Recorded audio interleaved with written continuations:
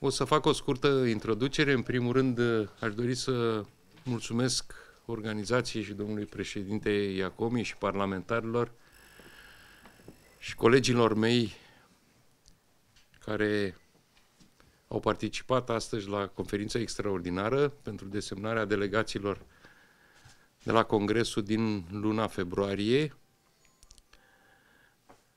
Au luat, după cum bine știți, este acces al presei libere la aceste conferințe, pentru prima oară Partidul Social Democrat. Am văzut din uh, discuțiile colegilor faptul că actuala putere, respectiv Partidul Național Liberal, nu are pe agenda publică nimic din interesul cetățenilor. Nu se discută în spațiu public politic decât cum un partid, respectiv Partidul Național Liberal, dorește să acapareze toată puterea politică din România și nu au nicio aplicare asupra agendei românilor și a cetățenilor care ne-au trimis în Parlament. Aștept întrebările dumneavoastră. În cazul în care ele există. Domnule Stănescu, ați spus că veți susține la conducere interimară la Congres în cazul în care se vor face schimbări radicale în partid.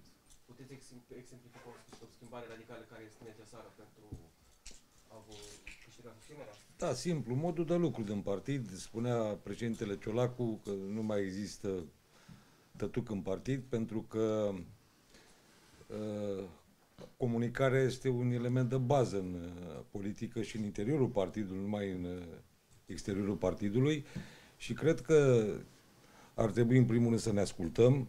Colegii noștri, astăzi suntem la Călăraș, ați fost în sală, am auzit ce am spus și ceea ce spun sunt convins de lucru, nu cred în ele, sunt convins de lucrurile astea pentru că numai o, o, o comunicare bazată pe încredere între noi poate aduce Partidul Social-Democrat uh, acolo unde a fost. Deci astea sunt principii care nu le-am inventat noi, pentru că ne-am dat seama că în istoria recentă n-am funcționat așa, ba din contră, am funcționat altfel. Știți poziția mea în cadrul partidului, pentru că fiecare avem opinii, fiecare avem principii și sigur trebuie să ne întâlnim, să discutăm. Sigur, până la urmă, votul înseamnă și democrație, toate deciziile să iau prin vot, dar cred că trebuie o comunicare mai largă și președintele Marcel Ciolacu a făcut un lucru foarte bun, a deschis ușile partidului de la nivel național și lucrul ăsta se transmite, așa cum vedeți, în toate filialele. Sunt colegi de-ai noștri care au fost dați afară, sunt colegi de-ai noștri care au plecat din anumite motive, eu știu, obiective sau mai puțin obiective și cred că trebuie să ne strângem, să fim uniți, pentru că numai așa putem să câștigăm uh, alegerile. Și asta am demonstrat-o de-a lungul vremurilor politice, în momentul în care am fost compacți, uniți, am reușit să avem și rezultate politice foarte bune. Pentru că tot uh, ați vorbit despre uh, Congres, modificările pe care le veți opera la statut. Uh, dumneavoastră, în calitate de, um, sunteți reprezentați conducerea interimară, veți propune uh, o altă formulă de conducere la nivelul PSD, mă refer la ierarhia de partid și la funcțiile de conducere care sunt în acest lume. Respectiv președinte, președinte executiv, secretar general. Noi o să venim în fața Comitetului Executiv, cred că săptămâna viitoare cu anumite propuneri de modificare la statut, principii de propuneri. Pe urmă, la sfârșitul lunii, când avem reuniunea grupurilor parlamentare, vom invita și primarii de mari municipii și președinții de Consiliu Județene, astfel încât vom crea un for destul de important și reprezentativ al partidului, unde de asemenea vom expune aceste principii și dacă ele trec de votul din intern și de opiniile din interiorul partidului, vom merge cu ele să le expunem și Congresului, unde se va da un vot. La faptul că în Comitetul Executiv să facă de drept parte primarii de mari municipii și președinții de consilii județene, la congres să se voteze un proiect politic și o echipă, să nu mai fie voturi pe fiecare funcție în parte, și chiar și o modificare a structurii de reprezentare în birou permanent național, unde pentru prima oară să fie venit organizațiile, primele trei organizații cu rezultate politice, meritocrație politică, pe un ciclu electoral de patru alegeri, să facă parte de drept din birou permanent național. Alte cuvinte, după cum vedeți, nu vorbim aici de oameni, vorbim de principii și de reguli. În aceste principii, funcția de președinte executiv va mai rămâne sau nu? Propunerea dumneavoastră.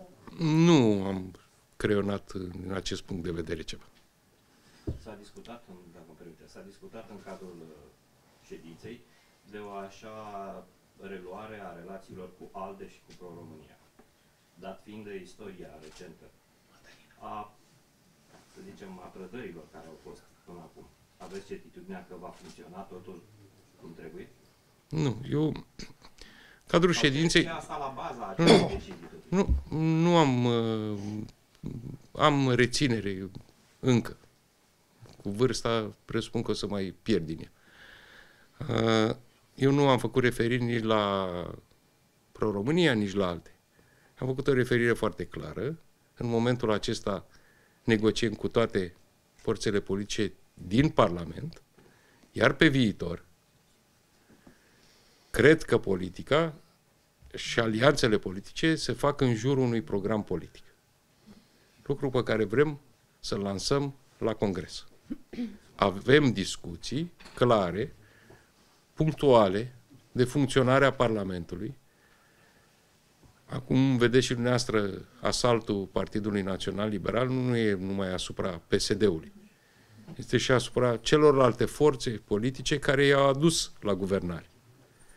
Ce nu înțeleg eu în anul 2020 la o Românie membră a Uniunii Europene și a NATO, cum poți să vii cu un discurs să dispară PSD-ul? PSD-ul fiind în acest moment singurul partid de opoziție. Adică îți dorești să dispară opoziția dintr-un, dintr-o țară. N-am auzit o utopie și, și o tâmpenie mai mare vreodată în cei 30 de ani de mult. Dacă îți dorești să devii Ceaușescu, să schimbe domnul Orban numele în Ceaușescu, dânsul dă și prin asumare și bugete și tot și să conducă acest, această țară.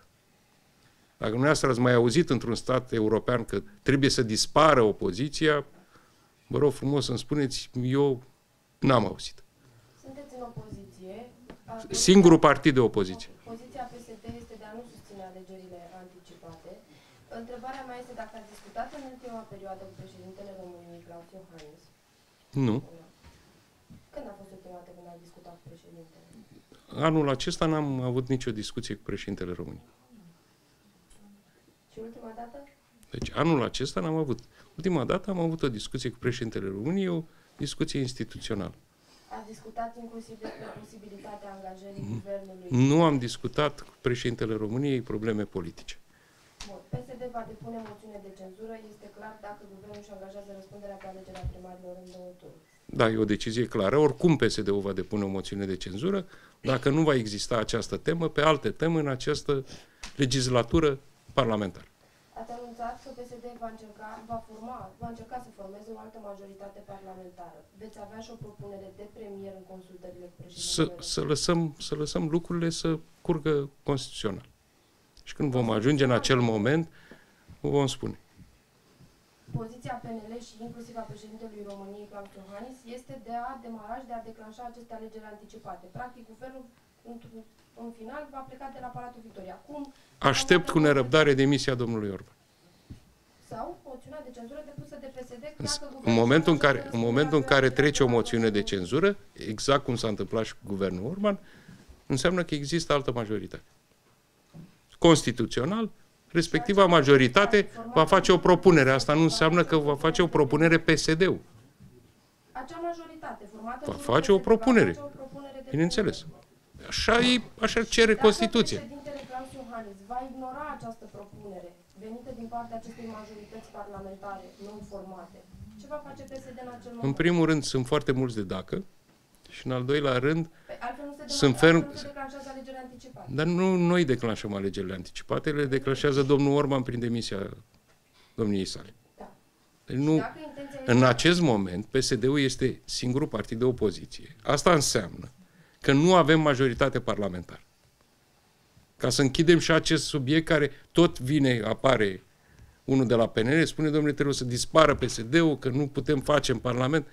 Ă, Spuneți-ne, facem un referendum. Doriți să existe în România un singur partid, să nu mai existe PSD, să nu mai facem un referendum și în funcție de ce ne cer cetățenii, noi o să ne supunem acestei voințe. Președinte, v-au atras atenția uh, oamenii din sală, primarii, asupra celor care merg la uh, televiziuni și reprezintă partidul. De asemenea, un coleg de-al dumneavoastră la Brăila, parcă vorbea despre oameni care ar trebui să fie pregătiți înainte de a ocupa funcții publice. Uh, veți introduce în criteriile partidului uh, niște norme de reprezentare, astfel încât, nu știu, să nu mai avem situații de genul ăsta, să nu mai meargă la televizor oameni care uh, sunt contestabili. Nu, nu cred că din norme o să existe niște o să, o să existe o să existe niște norme în ceea ce privește etică. Noi încercăm chiar uh, să nu mai fie decizional comitetul executiv pe aceste norme de etică, să le transferăm unui for mai, mai larg, să le transferăm Consiliului Național. Deci asta ca și noutate și mi se pare foarte corect. Fiindcă atunci muți un pic discuția mult mai largă și în cadrul Consiliului Național deja sunt uh, și parlamentari și președinți de Consilii Județene și președinți de organizație și primari. Deci e, se vede, atunci nu o să mai fie discutate cazurile punctual, o să vorbească de principii și de reguli care țin de interesul general. Eu cred că e o bună, e o bună modificare. Ceea ce cine se prezintă, totuși, în cele două luni ați văzut că există o abordare diferită. Privire la comunicatori, sunt o parte din, uh, din colegi care în momentul acesta se pregătesc să, să fie viitori comunicatori. A fost un timp uh, foarte scurt, Și care e dar recomandarea pentru aceștia să-și cizeleze limbajul? orice, ce, ce înseamnă comunicator în întregul sens. Mai multe lucruri trebuie să acopere un, un comunicator. Uh, Iar legat de decizia, de anunțul făcut de ieri de domnul Orban în privința modificărilor la legea uh, privind alegerea primarilor în două tururi, acesta spunea că dacă nu va rezulta o lege cât mai curând uh, în, în Parlament, vor veni din nou cu uh, alte soluții. Îi așteptăm. Vedeți Avem, posibilă o lege- vom, vom folosi toate pârghiile democratice să luptăm împotriva modificării unei legi, unor reguli în timpul jocului. Lucru care nu se întâmplă niciunde în Europa. Veți folosi toate pârghile și ca să împiedicați organizarea alegerilor anticipate? Păi categoric. De ce să fac? Care este criza de a face alegeri anticipate?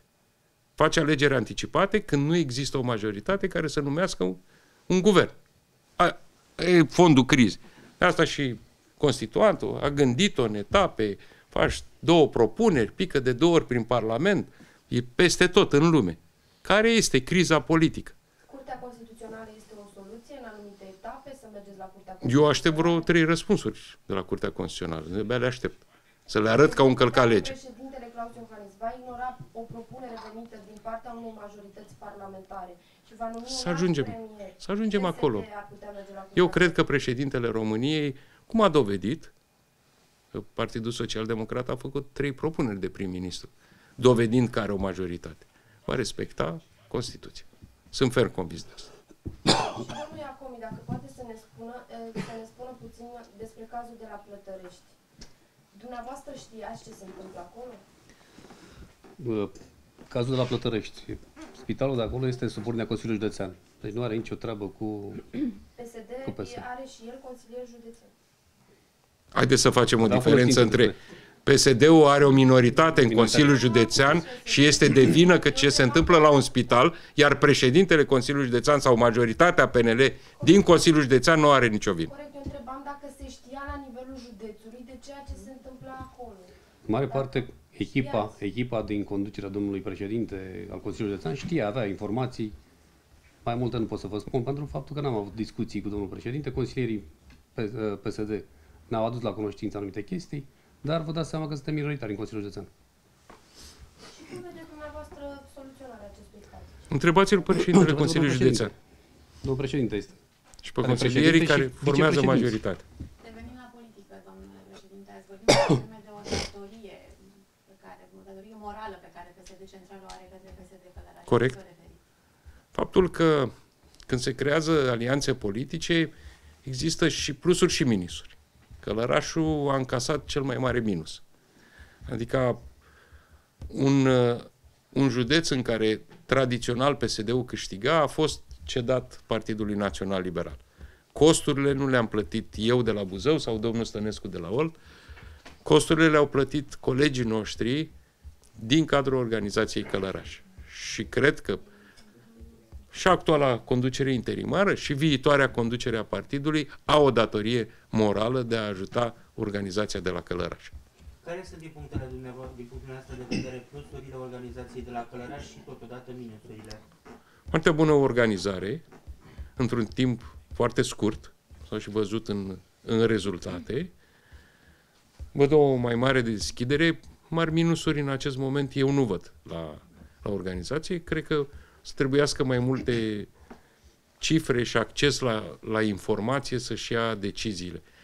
În schimb, am văzut o deschidere astăzi, repet, am regăsit în sală și trecut și prezent și viitor.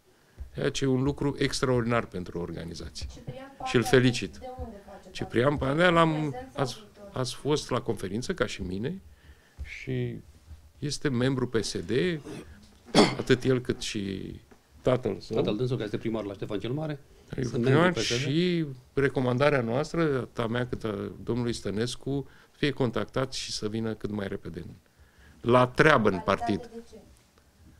De membru și sunt ferm convins că împreună cu președintele va găsi soluțiile necesare. E corect ceea ce s-a întâmplat pentru că a pierdut șefia acestei organizații pentru că a semnat alături de dumneavoastră acea scrisoare prin care i s-a cerut demisia lui Liviu Dragnea din funcția lui De președinte. aceea, al PSD de și aceea moral, atât eu cât și domnul Stănescu, s-a părut corect să deschidem această discuție în cadrul organizației. Vă asigurăm că vom face toate demersurile ca domnul Ciprian Panda să vină lângă noi în, în echipă și să muncim pentru alegerile locale care bat la ușă. Și va fi respectat pentru tot ce a făcut în istoria partidului. Mai ales că este un, un tânăr de viitor. Domnul Stănescu, spunea mai devreme că e nevoie de unitate în PSD. Oare pentru a da consistență reformării interne a PSD-ului cu prilejul Congresului Extraordinar, poate n-ar fi bine ca personaj, eu știu, cu o probleme de imagine, gen domnul Crișan, gen domnul Iordache, să facă 2-3 pași în spate? de persoane. Discutăm de persoane acum, chiar nu vreau să deschidem discuția asta, dar vă spunea președintele pentru că vor fi niște norme de etică în, în statut și vor fi niște reguli clare în găsesc de persoane, pentru că n-ar fi corect, în primul rând, față de colegii mei ca să facă acest lucru. Dar um, cu deschiderea asta noastră sunt convins că vom găsi soluții ca fotografia care va fi să fie o fotografie foarte frumoasă. Am înțeles. Domnul președinte spunea mai de, devreme că alegerile la Congresul Extraordinar vor fi făcute în uh, echipă. Oare asta nu va da nu știu, democrația internă din PSD nu va avea de suferit în sensul că poate vor fi oameni de valoare, da, din pe- membrii PSD, care nu se vor regăsi în echipa câștigătoare și astfel partidul va pierde. Nu, e foarte corect ce spuneți. Echipa va- va creiona viitorul birou permanent, național. De aceea am gândit și reversul de a lărgi comitetul executiv. cu primarii și cu președinții de Consiliu Județean. Și astfel încât balanța să se echilibreze. Aș avea o întrebare. Le-am, am stat multe ore, multe discuții, ca să partidul să funcționeze cât se poate de democratic și toată o, cât mai mulți dintre colegi să fie în forul decizional. O întrebare pentru domnul președinte Iacomi, dacă îmi permiteți, uh, pentru că chiar dacă mai este timp până la mm, debutul campaniei electorale pentru alegerile locale, aș vrea să ne ex- spuneți dacă există candidați din partea PSD pentru orașele din județul Călăraș. De, până pe 15 februarie trebuie neapărat ca să dăm lista cu pre, mei- precedenți- lista cu primarii care candidați pentru funcția de primar la municipiul Călăraș pentru Consiliul Județean și în județ. În mare parte în județ stăm foarte bine pentru candidați care avem, dar la încă facem un sondaj pentru Călăraș. Câteva nume pe care le-ați introdus în respectivul sondaj? O să vedem la momentul respectiv. Recunoștința centrului față de organizația județeană Călăraș, de care spuneați, vorbeați mai devreme, se va manifesta inclusiv în alegerile parlamentare, de exemplu, în a nu mai trimite niciun candidat de la centru aici în județ? Am spus-o în conferință foarte clar. Este exclus ca centru să trimită un candidat la Călăraș. Indiferent dacă o persoană importantă nu se va mai regăsi. Este în exclus din punctul meu de vedere ca centru să impună pe cineva în cadrul nu a organizației Călăraș, a oricărei organizații din țară. Dacă conducerea centrală are o discuție cu președintele de organizație, sunt treburile. Nu, nu se exclud negocierile și discuțiile, dacă vorbim de personalități.